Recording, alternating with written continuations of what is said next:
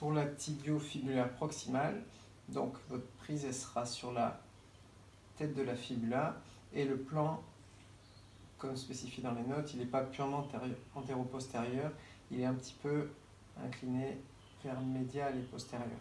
Donc, votre prise, elle peut être pouce-index en faisant attention au nerf fibulaire derrière. Et le glissement postérieur sera du coup plutôt postéro-médial avec une poussée dans le plan d'articulation. La contreprise est sur le tibia.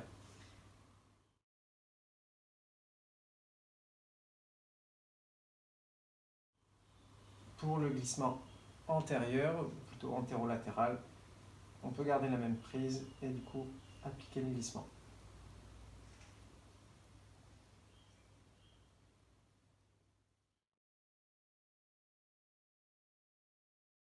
Pour le glissement antérieur de la fibula, on peut aussi le faire sur le ventre.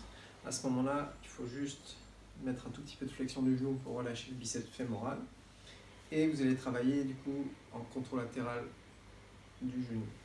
Donc il faut la même chose, reprendre bien le repère de la tête de la fibula, repérer son bord postérieur et faire attention au nerf fibulaire commun.